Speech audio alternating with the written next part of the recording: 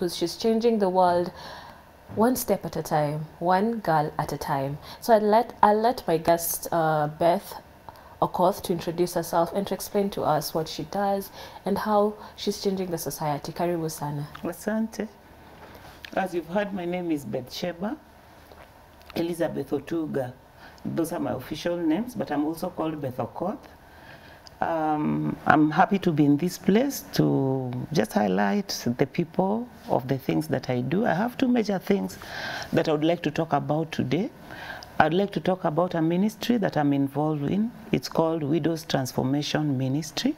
And then later on, I'll talk about Ahadi reusable pads. So Widows Transformation Ministry was started by a lady called Mrs. Kabasela, also known as Mama Omore. Mama Omore got widowed, and um, when she got widowed, she found that she was in many troubles. It was fortunate for her because she was an educated woman, and at the time she retired, she got another job, which was better than the first job that she was doing. But she had an urge in her heart to reach out to widows so that widows can be transformed and be able to stand on their own. Because we find that in this society, especially in Western and in the, as now we are changing, uh, women, when they lost their husbands, they were really in a bad situation. Okay, and you as a woman, what inspired you to be part of this uh, association that helps widows and also what inspired you to start Ahadi Foundation that helps the girls in the society? Uh, what helped me, what inspired me to join Widows was the passion I saw in Mrs. Omore. It's not that she had, Mrs. Kabasela, it's not that she had much, but she would just gather widows who are less fortunate and prepare a meal for them and just listen to them.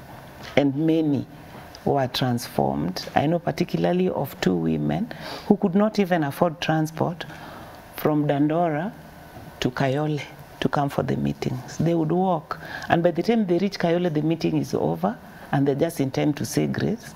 They could collect offerings of maybe 10 shillings or 20, and that is what they would be given to go back. Mm. These two women have built houses in their rural area. So they are transformed and they are able to stand on their own, trusting God and working hard and looking for opportunities so that they are not dependent.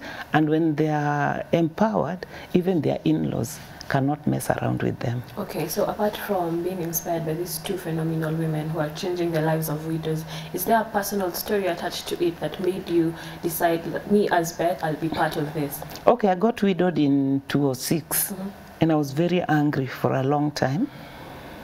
And I didn't even want to be associated with widows. I remember one time when I was coming from Ushagu, uh, sister-in-law asked me, told me, welcome to the club. And so I was so mad. I asked her which club, the widows club. And you know, I was still hurting. Yes. So I just told her I don't belong to that club and I just closed. But when I came and saw this lady and how she was coming up and helping people, I decided, why not? And like she also trusted me and she wanted me to help her because she's a woman I knew when I was young. She was a bit elderly.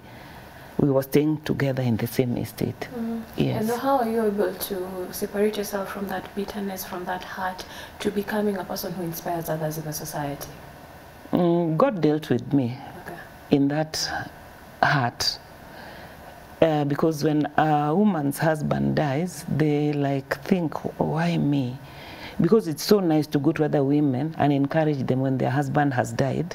You don't think that yours may also die. So I decided that um, I'll just trust God to bring me up because I knew there was life ahead. I had children and I knew I had to stand for myself. I know where I come from. I didn't have anybody really to depend upon. Okay, my parents were there, they could support me emotionally, but I really need to do things so that I would be afloat. Otherwise, I would be long dead by now. I know one particular lady, she died seven months later because it was too much for her to take. So that is what inspired me to come up and join Mrs. Kabasela. Yes, and so we meet regularly, once a month. This uh, there's a pastor called Reverend Washira. He has given us the church where we meet free of charge. He doesn't charge, and then we just have a few few people who help us to buy food. Mm.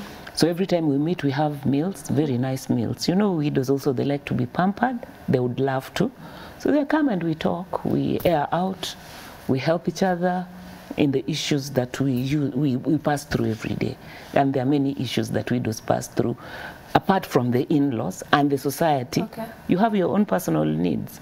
You need to survive, you need to be empowered economically, you need to deal with issues of your children, you need to deal with your own emotions, and many other. So you find that some widows, they are, they are dispossessed from their husband's home. And so when these widows come, we help them. We haven't gone so far as in going to FIDA to help us advocate and things like that.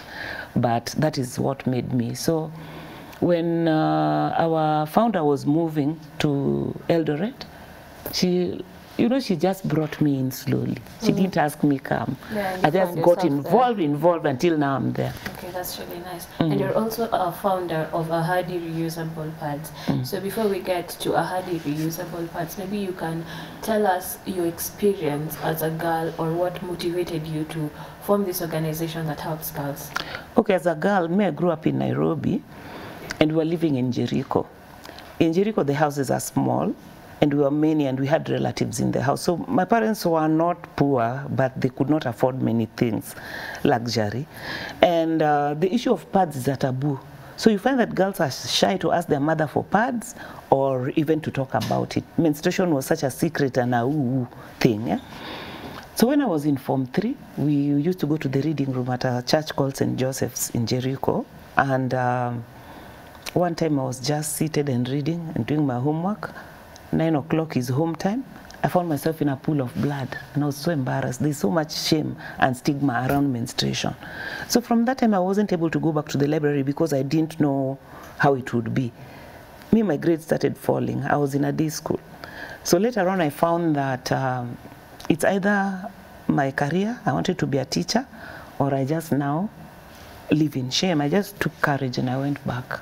Nobody asked me. So from that time, it rang in my heart that we need to do some. No, later on, when I grew up and I was coming towards menopause, the available solutions were not satisfactory for me. So I had to improvise pads. I'm also a teacher, but as a teacher, I was in a boys' school. So the thing didn't really magnify itself in my eye. So later on, when I came to this myself, I found that, hey, there's a problem.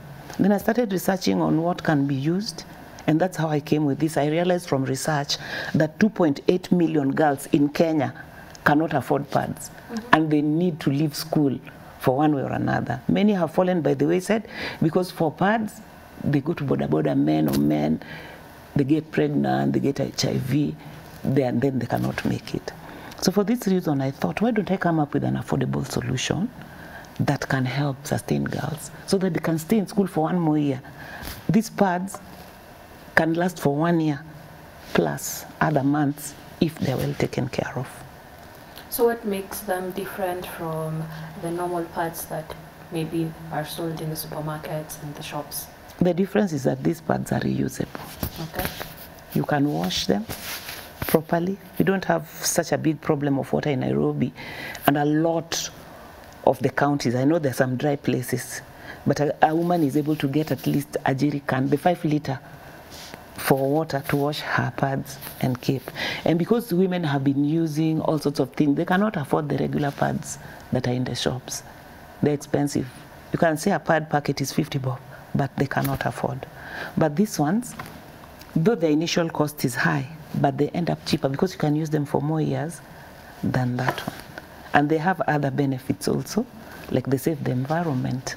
Mm. A woman disposes almost 40 kilos of pads or whatever they use in a year.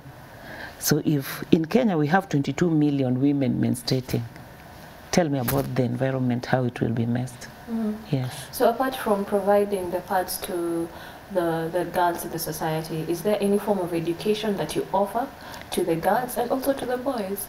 We do, when we do menstrual health management, we put both boys and girls because uh, we are demystifying the issue of menstruation. And uh, when it comes to now the very details, then we can have girls alone on how to maintain menstrual health hygiene. I also do training and counseling to these vulnerable girls, and I concentrated so much in the lockdowns, especially the first lockdown. I realized that girls are getting pregnant and they're falling by the wayside. So God helped me to organize outreaches. I did almost five outreaches. One was in Kisumu, another one was in uh, Karibangi South, and three were in, were in Kiambio. And I just, God gave me the idea to reach out because I already had the solution. So I just invited people to come and support because you can buy two pads for two girls. Will cost you only 1,000. And you'll maintain that girl for one year in school. If she finishes one year and she's in form three, she's likely to say, wacha nimalize hii form four imebaki, nikazane. And we, we inject that in them. We teach them self-defense through Box Girl organization. And um, the stances in boxing are really encouraging. For example, there's a stance that we do like this. It's called guard. It, it causes you to focus. So they focus on their education. They focus on their career of the future. And they're able to now keep going. So when they are on guard, they will guard against all these other things and remain focused. Yes. So is there like a, a specific, uh, when reaching out to the girls, do you reach out to every girl in No. Kenya? Ama there's a, there's a specific group that you focus on? It's so easy to identify girls who cannot afford pads. Me, my main area is Kiambiu, Kijiji, Mathare, Huruma, and part of Kibera, because they will just come and ask. And already vulnerable girls are there, you can find them. How did I reach out to Kiambiu? There's one lady who came to my house to help me in housework.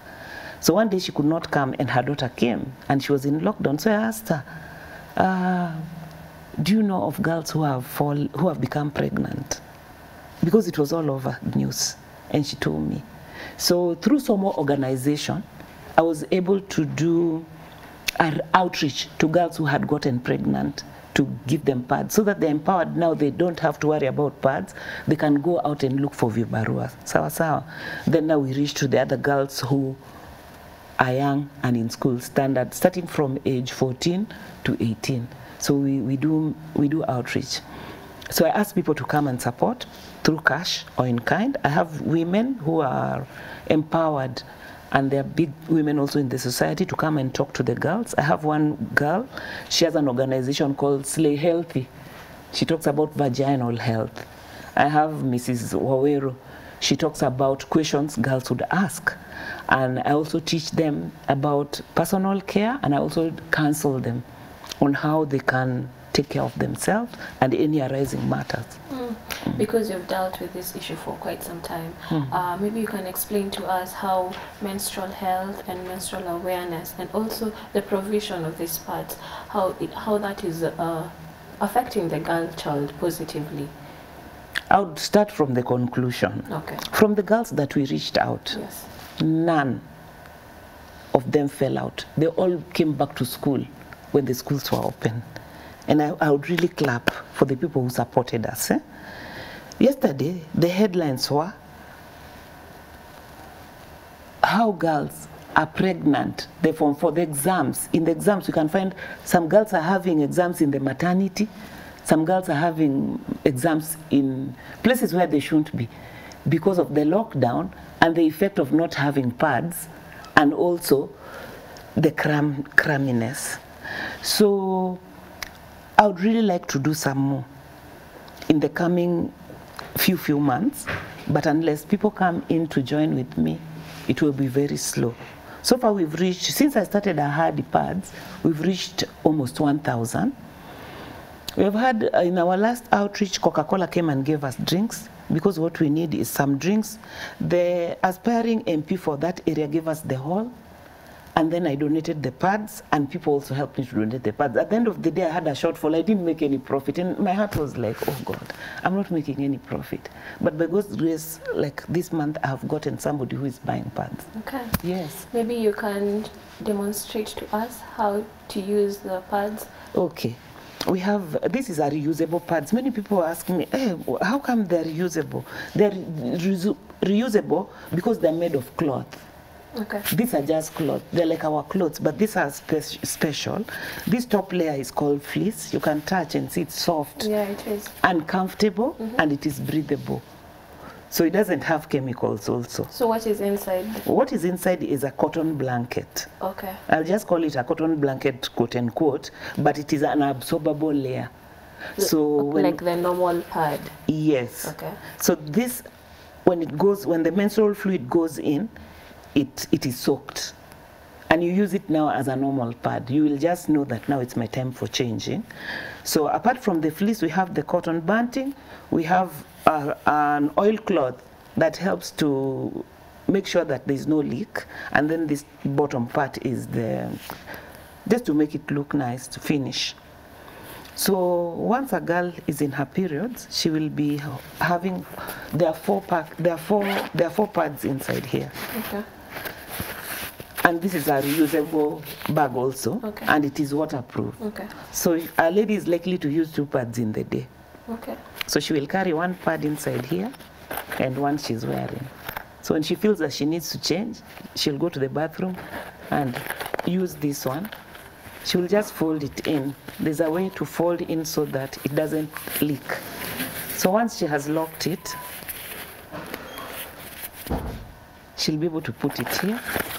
And we tell them that they should not be ashamed of their periods and their whatever they're using. So she'll just come and the boys also should not feel that, oh, oh, akona periods. Don't make embarrass them. Don't laugh at them. So they, she keeps in her bag. When she goes home in the evening, she has a bucket. She'll just come. And in menstrual health, we teach them to take a bath at least twice, morning and evening. She'll take it out, put some water, about that much, and soak it for 15 minutes. This 15 minutes, she could be bathing herself. So after 15 minutes, and they, they, maybe they're likely to be two pads. She'll pick the pads and just finger out the dirty water. Press out, press out the dirty water. Once you press out the dirty water and do this, it will use less water. So you take cleaner water and rinse a bit. Then the water will be rather clean. Now you put soap and wash. You can use ordinary soap. Can use the soaps that are available. You can even use Omo. But no hot water and then you you wash you rinse when the water is clean you just hang them out there's no shame we tell them there's no shame in hanging out your pads and in any case these pads i believe they're quite cute so you just hold them here with a With a peg. with a peg Yes. in the sun the sun will sanitize your pads Yes. and you're good to go you keep them dry and you'll be able to use them for many months Okay. Yeah. So you've talked about uh, teaching and making the girl child understand there is no shame in your menstrual period. But when you go to the slums or go to the areas that you're you're donating these uh, pads, you find girls who have already gone through so much, you know, gone through so much shame. So what's the process of educating them? What do you, what does your organization do to make We sure that them. apart from getting these pads, the mentality on menstrual health is changed. We talk to them. If we had time, I could have shown you clips, eh? but maybe for next time. Yeah, yeah, we course. talk to the girls. I'm a mother, and I endear myself to them as a mother, and the other ladies that we work with. We even have Ahadi Baba. Okay. So we just talk to them and tell them that you don't have to live in the past. You're forward, look forward, see what you can do. Uh, now that we have free education, we have not started linking them to go back to school because you find some girls have had even pregnancy, some have done miscarriage, some have even died in the process because they're doing backdoor abortions. Okay. So we just encourage them, we talk to them when they come, we take each individual case, and we've not found anybody that we need to hand over maybe to another organization that can handle the scope of what they're going through. But I have counselors with me, I have women who have who are also interested in this. Yeah. So what are some of the cases that you face through in the slums that the girls go through and what is the, like the most extreme case that you have dealt with? So far, um, I have the girls that I have dealt with who have had an issue were 10 girls who were pregnant and they dropped out of school. I just looked for them. This lady, Mama Kamu, I just told them, nitafutie wasichana wale wamezaa wa slum. There were more than I could handle. I wanted only 10 and also with COVID restrictions. So they came and we talked. And now they're called Ahadi girls. Mm. They're empowered. Also in the slums there are rape cases and mm. that is why we were teaching them self-defense. The box girl people. We teach them self-defense. One of the first self-defense is to scream Okay. because some people don't scream. Just scream, don't be embarrassed. Shout out. That will be your first defense, and then others will follow. Maybe you can list hizo zingine after screaming. Sasa unajua after screaming mzee ashastuka Okay. atakuacha tu. Ah, After screaming now simeshafundishwa self defense ya boxing. You can pull out a stance. Yes. so what And you n- normally, this the houses in the slums they're not at the walls are concrete at the you. yeah. people will just come. So uh, what I'm understanding is that you guys are not only about uh, menstrual health, but you're all about the girl child. Maybe you can list some of the activities that happen uh, in Ahadi, uh, apart from donating and giving out pads. Okay, I train women in the slums to make pads. Okay. nawafundisha kushona I've, I'm on my second girl right now. The first one has really gone beyond me. She has gone and gotten a job. She's earning maybe a lot more than I because you find that mine is almost like a donor organization. I, I need to rely on other people. I'm on my second girl, but I've also trained two men. I have, uh, even now, if we go to my workshop, you'll find there are two men and one girl. The one man is doing the cutting because I got some work. This other man is teaching, and the other one. So the first man I trained, me, I've always been teaching. We had a sewing machine at home, so I have skills, though I'm a teacher. Yes. So I have trained those ones. Secondly, we need to do a get together. We wanted to do a get together at the middle of April to follow up on our girls because we told them they'll come back. We have quite a number of girls, by the way. So we would follow up, have a cup of tea. I had dad uh, promised them a bash. Bash ni chai na mandazi. and Coca-Cola, bless the Lord for Coca-Cola, they give us drinks. Okay. Yes. So uh, that those are the things that we do. Yes. You've also talked about boxing and uh, self-defense mechanisms, and uh, I'm just wondering.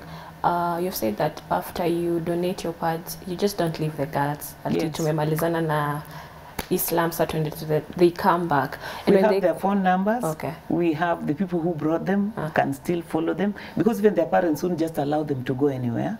Though they, some girls can sneak, so we, we just follow them up. so when they come back, do they come back to be part of Ahadi, ama they come back uh, just to say I'm grateful? Like how, how is your organization? Our organization does not have a hard set rules because also we're evolving. This is our third year. Okay. When I started a Ahadi, I thought that I'll just go to KEBS, they'll give me a KEBS, then I'll have my product on the supermarket. It wasn't working that way. And I still needed to reach out. So mm, they will come for activities. Maybe we haven't arranged, but when they were going to come back for these girls, we'd just have activities. They'll play ball, they'll talk. These three groups will discuss how was their school term and what are their grades. Mm. Yes. So maybe you can list some of the positive changes that you have noticed uh, from the time you started this organization, Pakasai. The girls are confident. They're not afraid that they're menstruating. And the boys in the schools where we have gone, they're not going to laugh at them. I just asked the boys one day, the whole class, how many of you would like to be fathers one day? All of them. And how many of you would like to be mothers? All of them. Then the only way you'll become a father at the right time is when you find a lady who is healthy and menstruating. Then you can become a father. They just went, so don't laugh at them. They're your sisters and they're your future wives. So we can find that the attitude is changing. You see, like when I came into the studio, one of the guy was saying, hey, easy V2. you know, they're not V2, they're just panties, underwears. and everybody needs them. so we should not be ashamed about a natural process. Yes. And it is beautiful. When a girl, if you'd reached your age and maybe you hadn't menstruated, so ungekuwa umeenda India kutibiwa. Yeah, that's true. You'd have gone to India to be treated. So that's how it is. Mm, okay, that's really interesting. And maybe you can uh, tell us uh, the the materials that are used to to stitch and to make uh, the pads. I've told you, Uh, because we want to make this affordable, we could have used a cotton fleece. Okay. But cotton fleece is, far, is 600 shillings. so is this uh, something that you can make on your own ukiwa home? Sinazishona tu home. No, like a common mwananchi, a common girl Thank you. who doesn't have the In, cash. in areas like Pokot, where we want to go, And also in Kajiado, we tell them they can make their own pads. Uh, they can use cotton materials that they have at home, like they can use old sheets, they can use um, t-shirts, they can use towels. And so we just, like some organization in Kajedo was calling me to come and train girls to make even in Kisumu. So I just go and train them. You look in your house and you see what is available. By feeling, because I will be having different pieces, you can be able to tell which are the absorbent ones. So you just put layers for yourself and you can use. Mm. And you maintain hygiene. So is that part of your education, like how to make your own pads? Yes. Like when you're educating the girls, do you educate them on how to also make your own pads? Yeah, that's what, one of the things that we do. And uh, in a month, uh, how many pads does a lady require? Uh, the ones that we, we give are four pads. You see? These four pads she can use, but a girl would really need to build them up. If a girl would have eight pads, she can be very sure that she will not have any trouble. Mm. She will always have one in her bag, and then whatever happens, she'll just use, then she can change easily. This is because sometimes the weather does not allow them to dry. Yes. Sunona, they dry relatively fast in a fair weather, but when it is wetish, it might need a day or two to dry. So if you have more, it is better. Mm. And you don't have to have all the more at once. You can build up the stock. And have you faced a case of rejection? Like, have you gone to a place and uh, face rejection, maybe from the girls themselves, that like they are not willing to come out? They're still in that cocoon. No, I haven't had that because uh, the outreaches that we have had, the girls are really enthusiastic to come okay. and they call their friends. You remember, I started with one girl and she called her friends, and then the area rep came to know about it akasema mbona simuulizi wasichana? Nikasema we don't have capacity. We'll just go step by step. So we took 10 girls the ones for mama girls. Then we took 25 then we took another 25 then we took another. So like in another place children's home in Oruma I wanted to donate only 10 pads but I felt in my spirit take 20 kasema tu ni sawa lakini it's well Mm. I think that is why God has blessed me with another job this okay. time Mm. So, what are some of the challenges that you face? challenges majority is that I really need people to come and support me by buying pads. I would really love organizations that have as stakeholders in education for girls to come up and buy pads for the girls. I know the government gives some. In one school where I went, uh, the girls are given three pads a term. They go home, there are three women in the house. The next day, the girl comes to the school and says, Teacher, nipatie pad. What happened? You just given pads last week. My mother took them. So you see, that is what we really need to go out and, especially the school girls, if we can give them all one packet of reusable pads, then we, they can have the other ones also, just like a standby. I don't know. So, you have talked about uh, a student or a child coming to tell you that the mother took it. Uh, that takes me to another question. Uh, do you also educate them, the mothers or the parents, on how to talk to their children when they get to that point in their life where Not yet at the moment because um, I don't think that would be our area. We're dealing with a girl Okay. directly. Okay. Yes. And as I've told you, we are a small organization. We better just concentrate on what we need to do. Okay. Yes. So as you're winding up, maybe you can talk to the girls out there who are listening to you. Yeah. What advice would you have for them, or what would you tell them? I would really tell the girls that uh, you can make it. If I made it, then you too can make it. Period should not hold you back. And in case you really need help, you can even go to your local chief and tell them. They would have programs. But these are the days when girls can compete equa- equally with the boys. What a boy can do, a girl can do. I don't want to say better because there are so many boys are crying out here from the ati hao wamekuwa neglected. Yes. So we are pushing them but we are also telling the girls msiachilie, shikilia tu. Right now you see Tanzania has a female president. So why can't you become the next president of mm. Kenya? Okay. You can. You can be the Mrs. of Alliance Girls. You can even be the vice chancellor or the chancellor. We had the chancellor of Kenyatta University. She's a woman. mm -hmm. So nothing should stop you, and periods should not be anything that should hinder you in your path to your destiny. Our tag is support a girl, help her fulfill and maximize her potential that would lead to her desired destiny. All of us have a desired destiny. So once you've identified that this is what you'd like to be and be, concentrate on it. Focus. Okay. Yes. Maybe you can also share where people can find you or if uh, there is anyone who wants to reach out to Um, the easiest is my phone number. Okay, maybe you can share it with us. My phone number is a Safaricom line number. It's 0723 309 229. I repeat Yes, you can. 0723 309 229. That is uh, Safaricom. Uh, we can communicate and see exactly how you can come in to help us support the girls. Then we also have a Facebook uh, at Ahadi Pads. Is it? Is that how it's said? Yes, Ahadi yes. Pads on Facebook. Ahadi Pads on Facebook. That that way you can find us very easily. Okay, thank you mm. so much, Elizabeth. Mm. Your story is really inspiring, and mm. I want to Ahadi oh, reusable pads. Ahadi reusable pads. So you can find her on Facebook at Ahadi reusable pads. Yes. Thank you so much for joining us and creating time to demonstrate and helping the girls in the society. Welcome. So that was Elizabeth Okoth, who is a phenomenal woman in the society who is helping girls in the slums and in the society to to know more about menstrual health and also donating parts to the society. So usibanduke. Uh, right about now we'll take a short break but next gonna discussion uh, val yes and don't forget to follow us on all our social media platforms at y254 channel.